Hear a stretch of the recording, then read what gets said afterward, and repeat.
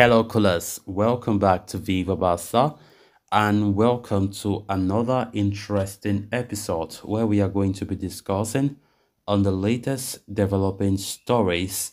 We start with Ferran Torres as Gerard Romero is reporting that the 40 million euro rated Barca forward has offers from the Premier League.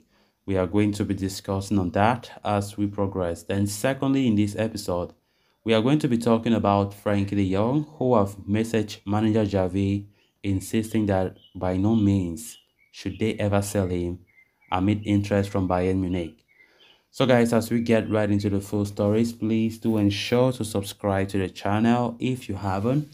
Turn on the post bell notification to always stay notified whenever I post a new video. Consider liking the video and please watch it right up to the very end. Barcelona are desperate to sell off some players this summer in order to lower their salary mass and generate some much needed revenue.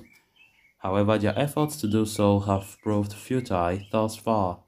One of the players for whom offers will be studied this summer is misfiring forward Ferran Torres. It has been reported that selling Ferran Torres is a priority for Barcelona this summer and that the club will seek a fee of around 40 million euros for Ferran. Now, Barca-based journalist Gerard Romero reports that Torres already has received offers from the Premier League to be specific. However, the attacker is so reluctant to leave the club, which has blocked the exit. Torres signed for Barca during the January transfer window of 2022, arriving from Manchester City in a deal worth 55 million euros plus add-ons. However, 18 months later, it is safe to say that the investment has not paid off in the way the manager Xavi would have imagined. The Spanish attacker has been largely inconsistent during his time at Barca and is no longer a regular in the team either, with Rafinha, Robert Lewandowski, and Ousmane Dembele ahead of him in the pecking order. Should Vitor Roque arrive, Torres could further slide down the order of preference given his disappointing displays, declining importance, and the need to reduce wages. The Catalans are keen on selling the former Valencia ace, along with fellow attacker Ansu Fati. Newcastle United are said to be interested in Ferran Torres and would be willing to offer around 40 million euros sum that Barcelona seek. Now, Gerard Romero is claiming that Ferran Torres already has proposals to return to the Premier League, but the Spaniard remains firm on his stance of not wanting to leave the club, compounding Barcelona's problems in the transfer market.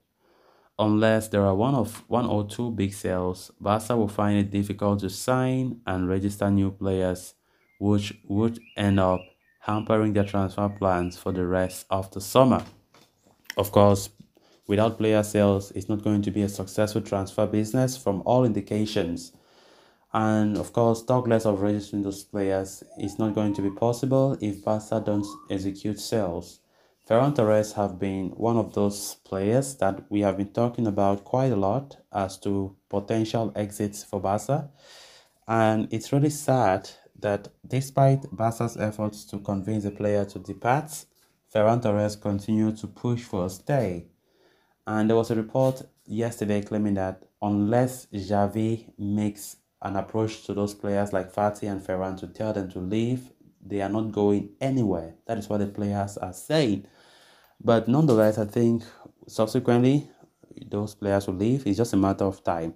But the thing is, there are some deals that Barca really want those players to leave as soon as possible, ASAP, so that they can go ahead and you know go through some deals quite fast.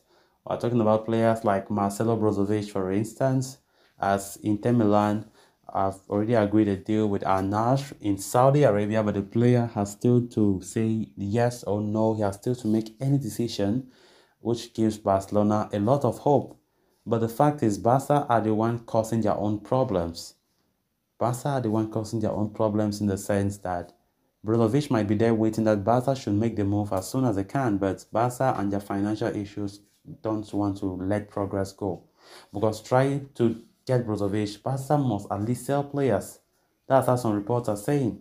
Before June 30, before June 30, players should be sold so that Barca can at least hurry, hurriedly make a formal offer for the first time for Brozovic.